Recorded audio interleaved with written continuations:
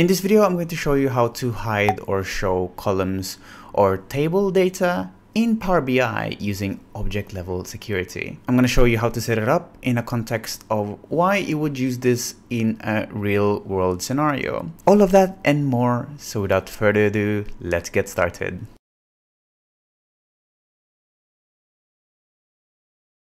Hi, my name is Fernan and welcome to the Solutions Abroad YouTube channel where we cover tips, tricks, and best practices when working with Power BI.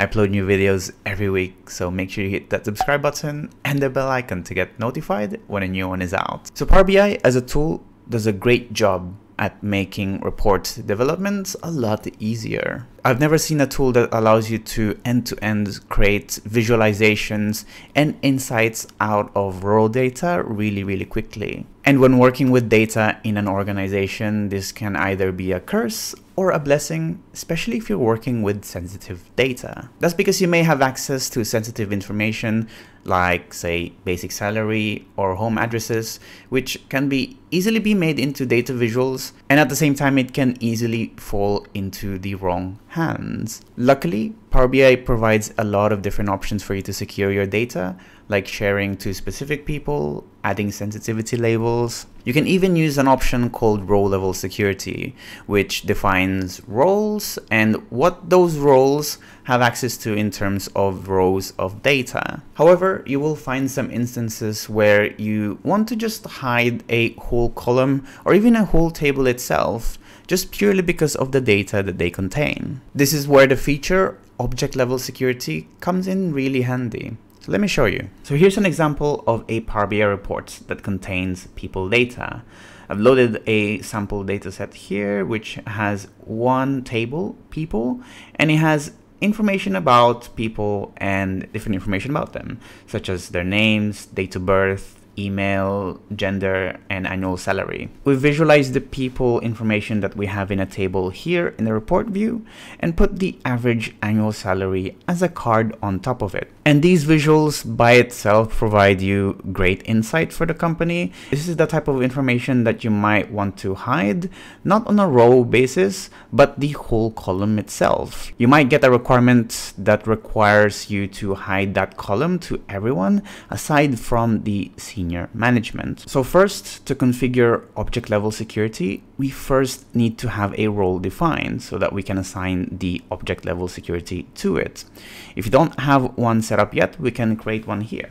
So let's go to the modeling ribbon here. We click manage roles. This will open up the uh, manage roles windows here. We're gonna create a new role, which we will assign people to, to say that their views will be restricted. So we can create one here. We're just gonna name it public. And normally you will define which tables or which row level data this role has access to.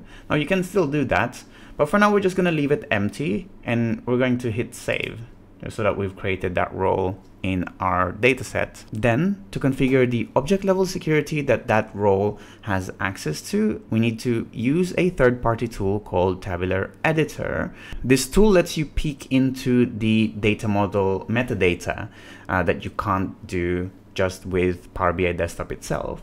If you want to know more about what other things you can do with Tabular Editor, I covered it by itself in a separate video. So go check it out if you haven't yet. So let's open Tabular Editor here and it will show you everything that is available in your data model. So things like your tables, your columns, and if you have any measures, and also you will notice here we have our roles, which is the role that we've created just now. If we select that role in this tabular editor, you'll see on the right hand side here under the expression editor, you will find a list or a summary of what you can peek through to the metadata of the roles. So in this case, you can see under the security uh, drop down here, you will see what RLS and OLS have been applied to your role.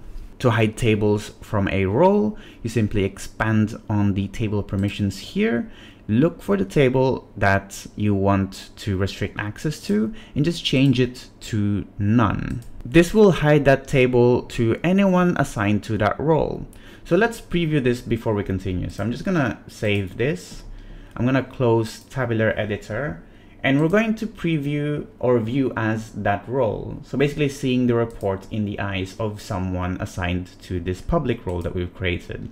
So if we hit OK, so you will see those two visuals that we created, the card and the tables, have all errored out. From the perspective of anyone assigned to this public role, this table that we have restricted their access to will look as if the table didn't exist at all in the model. So you'll see in the field section, it's just completely disappeared.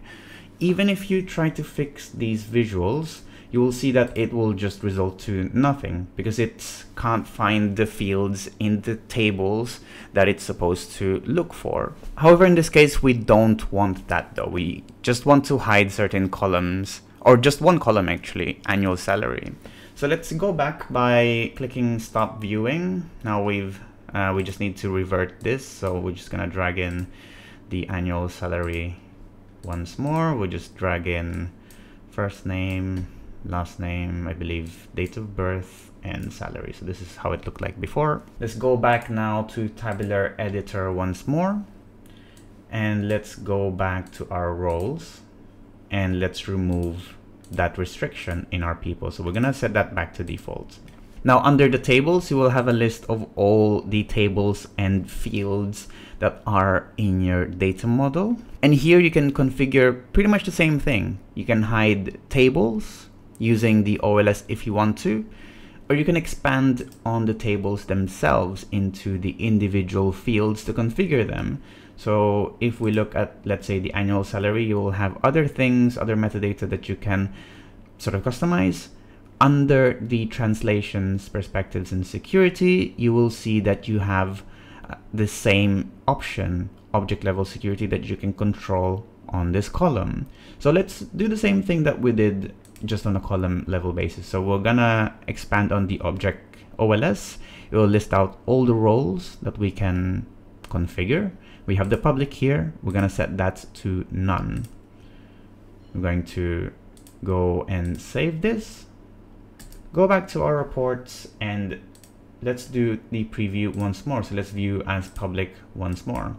If we hit OK, here you will see that again it broke both of our visuals, but it has a stark difference from the previous one that we've done. So as a user assigned to this public role, you will still have access to the people table, and all of its column aside from the annual salary, which we've restricted it to none. So this means that any visuals that reference the annual salary will break as expected. So this one, for example, it averages out the annual sal salary. It will simply just disappear.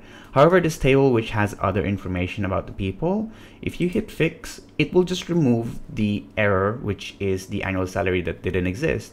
So you will still have full access to the people in its column aside from what we've set, which is the not to see annual salary. So let's revert this view and let's bring this back one last time. So now we've created a role. We've adjusted the object level security. So this role doesn't have access to annual salary. It's now time to configure this in Power BI service. So let's start by first publishing this into the service. I'm gonna just publish it in one of my workspaces here. Let's open the reports in Power BI service. So this is the exact same reports, but now we are viewing it in Power BI service. Now we need to assign people to this public role. So for you to do that, you need to go to the datasets security and there should be a shortcut here. So under C related content, you will see the dataset here you can simply go to more options, security, and you will see in this option, you will have the list of all the roles you've created. We have public here, and you can simply assign people that you want to have or include in this role. So let's just say, for example, let's assign John. You simply assign them, click add, and save and that's it. That's your object level security setup in your Power BI report. And that's really it for this video.